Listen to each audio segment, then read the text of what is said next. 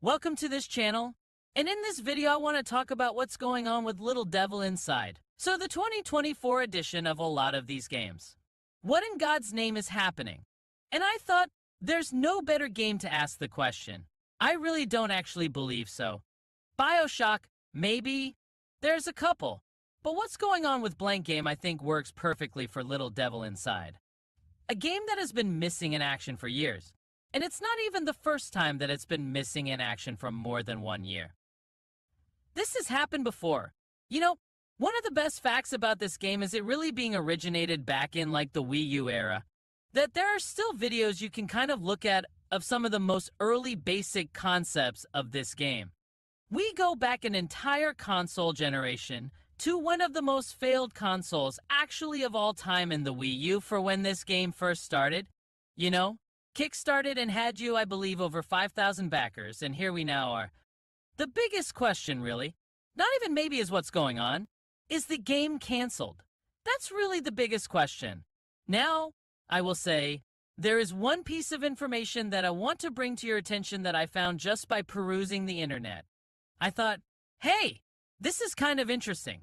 I've never seen anybody talk about this, and maybe this changes, like, our minds about whether we think the game is canceled. So it's actually going on their website. Their website is extremely, you know, barren, which is not surprising considering the state of this game. There is a little something there, and one of the things that caught my attention is how many people are actually on the development team, and it's 12. So I thought about it just for a second, and I said, okay, look, 12 people on this team making this game. I don't know if that's like enough to really bring me over to the light and say, oh yeah, this game's got a good shot of happening. Because to be honest, I've even said this like to people behind the scenes. The last couple months I have fully kind of given in to the idea of this game is just not going to happen. I've long been a backer that I believe this game was going to happen, but the last few months I just thought, you know what I mean, we haven't seen any signs. There's just nothing out there, and, you know, the development team being 12 people. Strong is not necessarily a sign that the game is alive, but it does make me reconsider a little, and it makes me think, okay, games take a very long time to make. An incredibly long time. And you see games that have, you know, two, 300 people take four, five years. So if this 12 person team really wants to do an ambitious, however many long hour game, right?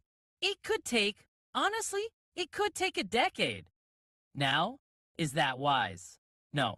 Should you really maybe reconsider what the game is at that point and try to like maybe shorten it, or just, you know, kind of refocus your attention on something. Yes, I think the idea that this game has been around for so freaking long is a negative. It's absolutely not a positive for this game.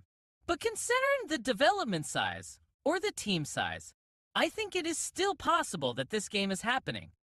I think this game absolutely still could happen. Now, what's going on with this game going in 2024? Well, we are now past two years. Right. So, like, the state of play was over. It was in 2021. But it was obviously, you know, past this point, so we are approaching two and a half. And, you know, obviously, eventually going into 2024, it'll be three years I still want to stick with the like now or never thing that you know. You have to show, but you could say that any year. You know, I mean, I the reason I make these videos is kind of just to bring attention to games that, you know, have kind of been missing in action give me a chance to kind of just update you guys on my thoughts on it. But I really I don't have much to say about this game that I haven't already said for the past couple of years, like it is a now or never thing they need to say something about it.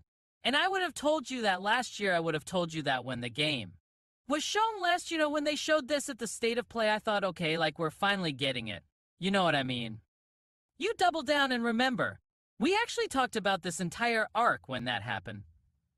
Was I think there was an advertisement thing. Remember, that said, I think like winter of. What was it? 2022, maybe. Winter of 2022. Maybe it was winter of 2021. So people started thinking, okay, I mean, no matter what it was, now I'm blanking because again, this game has been alive for my entire life. It still has passed. Like, it doesn't matter which year it was that it said, you know, winter on, both of those, winter of 2021 has passed, and winter of 2022 has passed. And we're now literally in winter of 2023. So, you know, they had a rough date, is what it looks like to me, right? They had a rough date one to two years ago. It didn't happen. So, like, all right, take a year, take two years now and again, refocus and figure it out. But I think now, you know, as we approach three years that they haven't shown it, and one to two years after, you know, the rumored release date was supposed to happen. I think you got to come out and hit us with, hey, you know, we had a major delay. And I mean, that's another thing, right?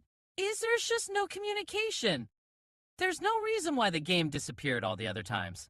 So it's like, I mean, you can kind of tell when you see it, you say, oh yeah, things have changed. I mean, this game has evolved, absolutely, but you're seeing it evolve behind the scenes.